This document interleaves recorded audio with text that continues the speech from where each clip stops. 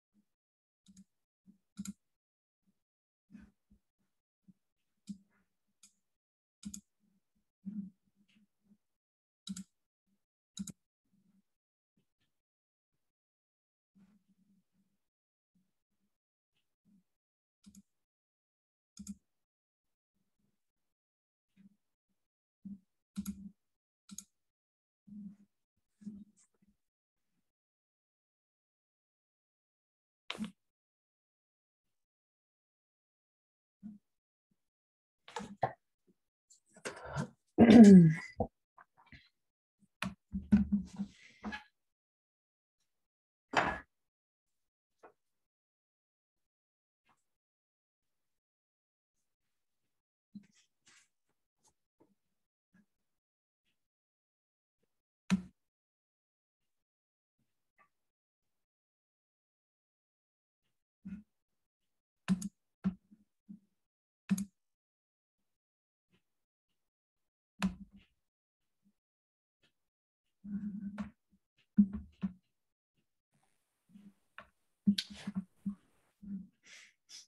Hi, Gail. Hello. Like the backdrop that you have in. Thank you. oh, yes. I could, I, if if my operating system was a little bit more advanced than it is, I could I could I could do something weird in back. Not not that that's weird, of course, but something something appropriate. I think maybe a, a, a picture of the hut or something like that. Would yeah. Nice. yeah. Yeah, yeah. The Zoom the Zoom tools are are are pretty uh pretty good for that kind of thing, you know. Yeah, yeah. Um, Indeed, they are. Here, let me see if I can find one of the hut in my files.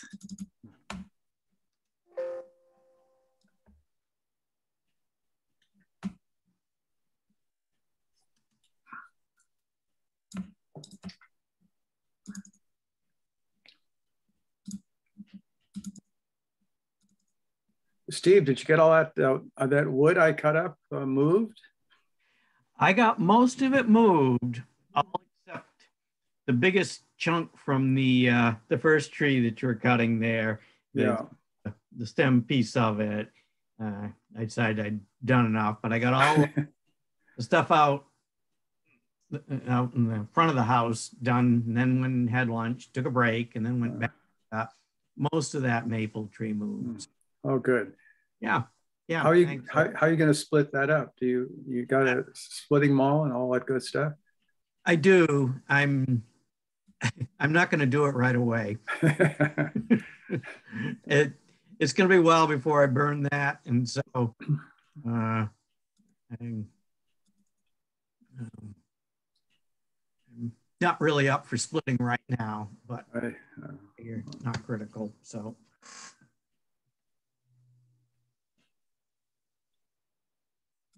but thanks again. Really appreciated it. Well, it was it was a fun outing, you know. It just, Yeah. you know, it- this time of year there's not much chainsawing to be done, so um, it's good to um, keep in shape, so to speak. Well, good.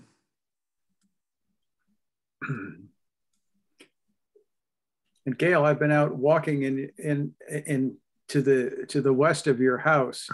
I um, I followed the trail that um, had initially brought me back to Montague Road, but I went in the opposite direction this time to see where it went. I um, I'm still looking for a trail that has disappeared since I took it last in the 1970s and 1980s, but I That was, a, that was a long time ago, Jim. I That know. was a really long time ago. it really was. that dates me, believe me. Um, and um, the trail um, eventually led um, led uh, west and then divided. And and I haven't explored the western branch, which might go over towards Brushy Mountain. But the southern end of it went south, uh, or excuse me, north towards um, where all the cutting uh, that um, there's a there's a, a guy who's cutting cordwood um, on on Coles's land. Um, he has a skidder up there and um, has been doing it apparently f- since 2005, according to uh, some. And Oh, it- and- I think that's that's the Jake Duty operation. that's the Jake Duty operation. I, I was wondering, yeah, he has that sign on uh, Dudleyville Road as you're Yeah. getting down near the co-op. Yeah. Well, I didn't see him. Um, I didn't see him, but I did run into four hunters um, who were who were out um, uh, looking looking not too thrilled with their lack of lack Their of lack results. of yeah. I think the deer have, you know, probably gone down to uh, Mar-a-Lago in Florida or something like that. They're they're not around. Um, so they were. We had a nice chat though. Um, but uh, so um, that was an interesting hike. The trail is you, you wouldn't want to take your bike down it, however, because the skidder has really torn things up, and it'd be a real and so and parts of it are a really muddy mess. But um, the upper part, which is still an uncut forest, is is is quite pretty. And um, I don't know where the western end goes. That'll be my next project to to hike out that direction. Graham, uh, uh, Jim, I was going to caution you about hiking in the woods right this time of year because it is hunting season. Well, I do I do wear my Shutesbury net. Um, uh, what is that color? The, the, you know, remember that that that outfit you gave us to Oh yeah, this the sea the see me green. yeah yeah the scene Yeah. whatever it is a bright yellowish green whatever it is so i i i put that on and I, that hopefully won't make me too too desirable a target by by hunters but at any rate uh, All right. I need to go get something to eat quick. All of a sudden I realized I'm starving. I'm gonna go Uh, grab a yeah. handful of nuts. I'll be right back. okay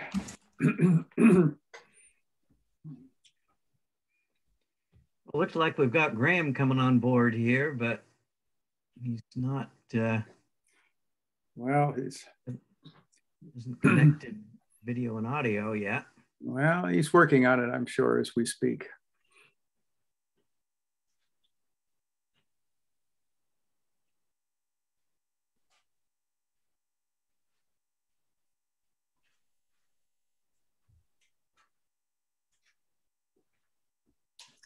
no sign of him yet.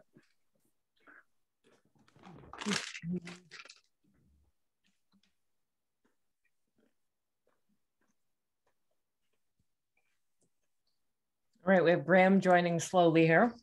Mhm. Nope. Well, no, well, No. no, no, Lost- it's not. lost him. oh well. And are we expecting Craig? or is he still out in uh, the west someplace? I didn't hear anything from him saying he was not coming, but Hmm. We'll, it's already three after. We'll start as soon as Graham gets here. Okay.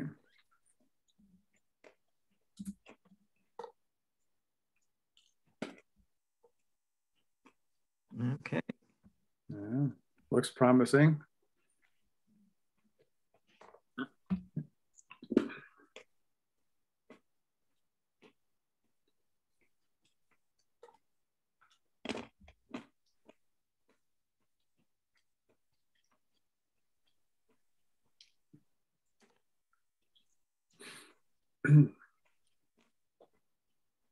Do, do we have plenty of, whoops, there he goes again.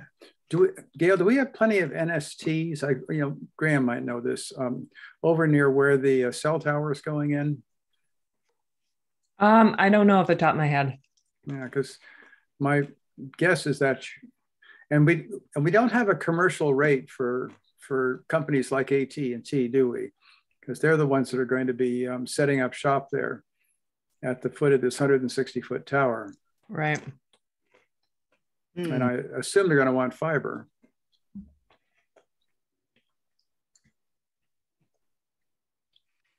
So is this something that's actually going forward, Jim? Oh yeah, well it's they've they've dug this uh, this rather ugly looking driveway uh, from Wendell Road into where they're going to pour the concrete pad where the tower is going to sit. Oh, And and um, Oh, so- that's where it's going. I thought I thought there was a house. No no no that's that's a, oh, that's huh. a cell cell tower, right in that eh, one of the highest spots in Shutesbury. So that it's makes a, sense. Yeah. it's it's it's a good location, of course, but wh- where, where is it? ag- It's on Wen, it's on Wendell Road. As you drive south to Wendell Road, it's just a little bit um, um, south of the Wendell Locks Pond Road connection. There he Hmm. is. My laptop will not open the freaking application. Uh, Um, so yeah, yeah, we, so- we saw you uh, kept joining and then leaving again. yeah, yeah. Nothing, to, nothing personal, folks. But uh, yeah, um, yeah. No, I don't know why my laptop buttons won't uh, won't press properly. So um, uh, this will have to do. I might play with it in the background, but uh, I will try not to be distracted by it. Yeah, so how are you all? Good. Hanging in there. Here come the Yeah. holidays. Get ready. Oh, yeah, I can't wait for them to be over with, frankly. okay, Mr. Grinch. Mr. Grinch. Yes. oh dear. Yeah. All right. Well, um, I don't know if Craig is coming or not, so let's just get started. Um, so we have um, first order of business as usual is approve our meeting minutes. These would be from November 17th. Um, I make a motion that we uh, accept as submitted. Second. Second. Great. All in favor? Aye. Aye. Great. All right. Um, hut report. Graham, any newsworthy events? Um, no, nothing, nothing dramatic. I went in there, um, as you know, Gail. The uh, needed to put the new batteries in the keypad. Um, it uh, very cleverly informs you of the problem, and and then you sent me the the YouTube. Uh, the YouTube to tell me exactly how to do it. So um, the keypad is happy again now. I guess uh, what's that? A year and a half, maybe the batteries lasted. Uh, is it two Oh, no, years? no, no, more than that. I mean, we, we Yeah. installed we installed that in 2019. 19. 19. all right. So it's a- it's a good haul. Um, Yeah. And uh, let's see, on the 25 uh, trouble tickets or help tickets, I should call them, uh, there were 11 voice, uh, which were mostly routine, you know, um, uh, you know, just um, administrative questions and spam and voicemail questions and stuff. Um, there was uh, there was barely any service problem with all of those 11 VoIP um, um, trouble uh, help tickets, and of the 14 uh, of the other uh, help tickets, 14 uh, uh, for internet, uh, the questions and issues were mostly routine again, um, uh, and um, and there were only four possible problems. Um, two were called intermittent internet, and two were email issues. So so really, there were only four things that might have been issues, and um, hardly that. So, so anyhow, uh, overall, the whole year um, there were um, 15 installs, um, uh, roughly, um, pretty close to for the whole system. Um, and uh, looking at the repair totals, I don't know, Gail, have there been any more in December? But there's about 24 no. repairs. Okay, 24 repairs for the whole year, mostly drops. Um, a couple of the um, repairs were actually uh, uh, a couple of jobs, uh, renovation contracts, where they go out and take it off and then put it back on, and I assume the customer pays for it. Um, and um, and 2021 seems to have compared very closely on um, on trouble uh, on on sorry repairs, um, where there were about 30, uh, and the uh, the only difference to last year was two of the um, repairs were distribution cables, as you'll remember, well, Montague Road and um, and where it got knocked down on January Hills Road. So there's uh, there's you know there's the luck for the year maybe if we shouldn't curse our luck, but um, uh, yeah. but yeah. Great, welcome, Craig. Thank you. Um, you know that suggests that a lot of Ladbrett's early problems were, were due to bad installs. Yeah. They had really yeah. bad luck, quote unquote. Yes, yeah. I think I think it was the installation wasn't fantastic, was it? I agree. No, no, no. They had tremendous trouble. Yeah. I should warn you all that I may I may ha- have to leave unceremoniously. I've got tons of stuff going on. So. Yes, and this semester, we get it. I get it. Ceremoniously, I do. It's not because I'm angry or anything.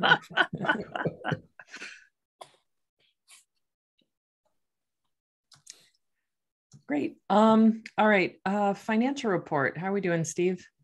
Okay, we are doing very well. We have a balance of 163,521. Um, and money continues to come in every month. You know, we're still running 39,000 and change every month. uh, Crocker uh, automatically deposits that into the account most every month, and uh, we uh, paying the regular bills. so all, all, going smoothly financially. Great. Um, Steve, you, oh, and oh. I've begun to uh, rough together a FY23 budget, which I'll be working with Gail on uh, in a little bit. So yeah, great. Graham has cloned himself. Yeah. So that's good. Shut the other one off. All right. Um, so Steve and I have been talking offline a little bit about um, making sure that the financial records that he keeps are backed up in some way. Um, and so um, the two options I see are to use our uh, town's our, our town account Google Drive. So we have the um, broadband at shutesbury.org Gmail address, and that comes with uh, 15 uh, gigabytes of space. We've only used four of that because right now it's really only used for Jim's meeting minutes. And so there's plenty of room for financial spreadsheets. So um, I'm thinking since we're already using that um, for our minutes, that Steve will start there and I'll figure out a time to meet with you offline to get your laptop set up for that. Um, if that if that doesn't work, we run into problems. Um, then we can always look into Dropbox. Uh, Steve and I also talked about the fact that we have $500 in the budget for just kind of miscellaneous supplies. So if we needed to get a, a um, Dropbox Pro account for Steve, uh, we could certainly do that. And this is for backing up what? Your, our, our financials? Yeah, our financial, financial records. reports that are on my laptop computer, which Jim, you know, is not the most dependable piece of electronics. Oh, well. yeah. oh, dear. All right.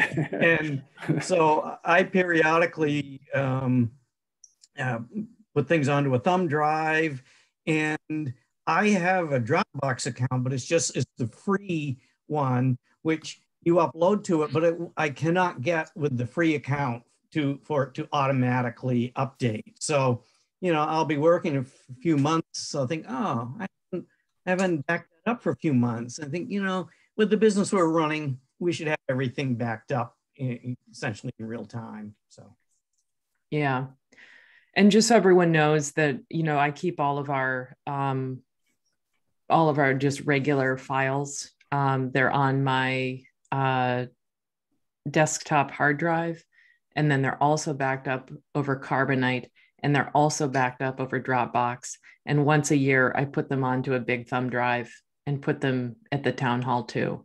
So there's a lot of redundancy there. Um, you know, it's it's mostly cloud, but I feel okay about that. Um, all right. Um, I can't remember if we talked about that security audit last time, but um, that's in the hands of the company. We shouldn't expect anything till after the new year. New year. Um, I've worked with Crocker to get 10 more routers ordered per our last meeting. We also have 15 of the Calix wall warts for the ONTs on order. Um, the uh, failover test for that one gig MBI circuit has it, it got delayed. It was supposed to happen on December 6th. Uh, they're switching over to a different reporting system other than Scrutinizer. Uh, Scrutinizer is good, but it only includes the IP traffic. It does not include the interface data. So I think it was Graham who had asked, like, can you know, can we get that other interface data on there so that we can see when there's a when um, our backup system kicks in. Um, so since they were planning to s- switch out a scrutinizer anyway to this other report, they'll put that new report in place and then do the failover. So we can test both of those simultaneously. Yeah, could could you offer a brief explanation of what this interface interface um, data is? No, because I don't know what it is. Oh. yeah, it just it it, it just yeah it, it's Anybody? it, well no it, it's just an, a different reporting system besides scrutinizer. So Hmm. you- But, but what uh, is, what is it that uh, Scrutinizer didn't offer that the new system does? That was what I was. Got it. So so scrutinizer only shows the IP address traffic. So we we know every day we see these spikes that go up and down, and you know it goes up to 3.5 and um, gigs that you know every day up and down, and um, but it does not include w- where that's coming from. So the new report would say, here's the Crown Castle coming in, and here's the MBI. So Mm. you know we'd see MBI flatline, flatline pretty much all the time and then we'll see a little spike when it gets tested um, Oh, okay. Scrutin- Scrutinizers seem to only be plugged into the um, into the um, into the, the end of the 10 gig Crown Castle circuit. Right. That was the only thing it was monitoring. So I guess yeah, when they referred to a uh, to an I uh, to the interface, an interface could be anything, couldn't it? But uh, um, but um, sorry, I got to ignore. Um, um, but the interface could be anything, but I assume they mean the interface in our hut, which is, you know, which could get an MBI thing or the Crown Castle thing. So, um, Okay.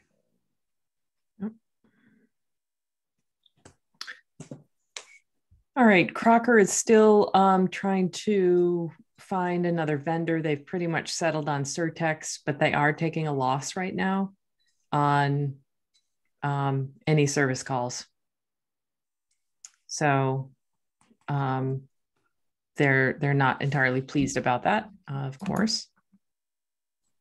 Um, But there haven't been very many service calls, right? no. It's not too bad a deal. no no it's not not bad at all. Um hopefully hopefully that will continue. Um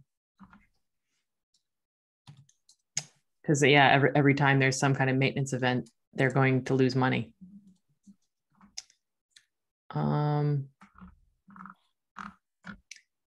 all right well that was um believe it or not, all I have for kind of our normal business um, for the night. Um, and so does anybody else have anything else for the open meeting portion? Steve? I just wanted to ask anything, heard anything more from uh, Westfield about the uh, ring proposal? Just Nothing. Dead, dead. Yep, ra- radio silence. Okay. Yep. Graham?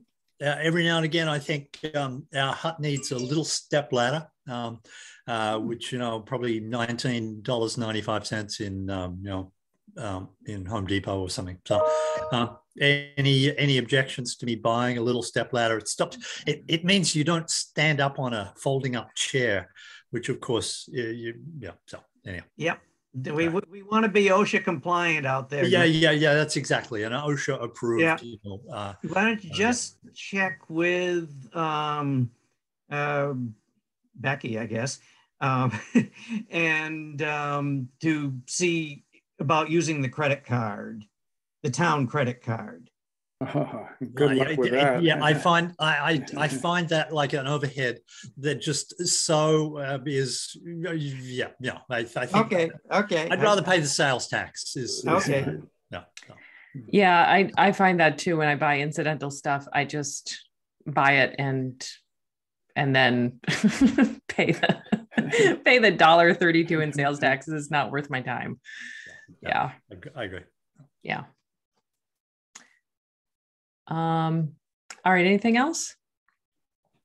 Uh, yeah, there was a uh, on the OnCue thing, the uh, generator. A little while back, we might have some of you might have got the email saying some maintenance was due, and I was waiting for Mhm. Pachoric to do that. We never heard whether Pachoric did it or not. I'll, I'll contact Pachoric and ask him, uh, or, or Gail. Um, do you want to see if the OnCue thing still has a status flag set against some service, some routine service? Pachoric might have done it. They may not have. They may just not have bothered to reset the OnCue um, uh, tool, but um, Right. Um, when did that come through? oh, about two just- months ago, two and a half months ago. Oh, okay. I don't I don't remember this. Is okay. So Yeah, there's a little flag on the if you don't if you don't immediately see it on the OnCue application, um, then I'll I'll send you a screenshot of it or something like that. okay, So- great. Yes, yeah. Send that to me if you would. Was Graham, was that the email saying that the OnCue system was not, it was down sort of? Oh no, no, not one of them. No, that's just No. uh, yeah, that just no. Th- this was a um, this was a service requirement because uh, because the OnCue, the actual people who Kohler said there is some maintenance that is due, either because of the number of hours it's run already or uh, in, in Mm. warm up and whatever. Or, You or- know, it would probably be good to have Pachoric do a servicing of the unit, change the oil, change the filters. Um, you know, it's been long enough and I, I would I would say there's a sta- you know Pachoric they're the dealer for the for Kohler they they know what the yeah they know what the maintenance routine is They yeah, have but I don't with know it. that he's done it. They may the- have. You know, we have, yeah. Yeah, yeah, we do we do pay for that. We do. um, as as for for them to do that annual maintenance of the you know the battery check the oil filter check um if they have done it we don't know Yeah, Yeah. we've never paid for it being done. The idea was that up and do both the town hall generator and our generator, bill the town, and we would reimburse the town for it. You know, let's just us get ours serviced, have him bill the MLP, we'll pay for it out of, we, we haven't, we have this in the budget. And, you know, if Becky wants to have the town hall generator serviced, she can call him for that, but let's just keep ours um, serviced. okay i'll i'll check on it and um have him have him do it and uh put it in kind of our annual tracking calendar of all the things that need to get done so that um there's a there's a trigger to get that done repeatedly That would be, that would be great, Yeah. yeah. Gail, I'll pull up whatever that message was on the uh, on the OnCue thing, and um, and I'll send it to you. Okay. Thank you. It it might be like the maintenance required light that comes up on your dashboard when it's time for an oil change, which I always ignore that because I keep track of that on my car, but this might be a good thing actually to you It, it might it might be, yeah. point out to us. All right, anything else? No. Okay. Um, so we are going to adjourn our regular meeting now at 5:24 PM. We're going to move into executive session in a different Zoom. So um, check in, in your email. I put in the second Zoom. Um, so log out, close, But close down. Before, before you log out, we need to make the motion to go Yep. into executive session in open session. Yes. and Yes. Announce that we're not returning to open session. Yes. Um, we, before- we adjourn this one, right? But- right. Yeah, right. but- But, but before we go before there, we we, we have to we have to follow the process. So but, Before we but- adjourn this one, we need to make the motion and vote the motion to go into executive session. So I move we go into executive session to discuss contract negotiations. Here a second. Second, All in favor? Schmidt, aye. say your names. I know it's After. dumb. We have to do it. Sefton, yes. Hemingway, yes. Great. Okay, there. Great, thank you. Um, so we're following all the um, process for this. The session must be convened in open meeting. Notice has been given in our minute in our agenda ahead of time.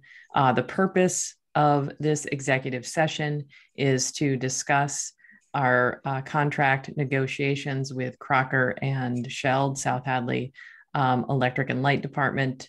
Um, and we've called the vote and this meeting will not reconvene uh, after adjournment. Um, we will move to a private Zoom and we have taken the votes. So that is all of the parts of that. Um, so everyone has, has the Zoom link from the email I sent? Anyone not have it? No? Okay, great. Uh, close it down. I'll see you in, in five minutes on our next Zoom meeting. And this portion is adjourned. See you there. All right, bye.